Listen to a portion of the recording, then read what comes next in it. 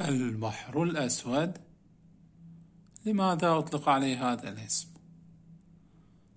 لا تدل تسميته على لون مياهه بل على صعوبة الملاحة فيه بسبب طبيعته القاسية ورياحه العاتية وقد يكون السبب هو كثرة السحب والضباب المحيطة بمنطقته مما يجعله داكنة وربما تعود التسمية إلى عمق مياهه وتركيز الطحالب فيه ودمتم سالمين.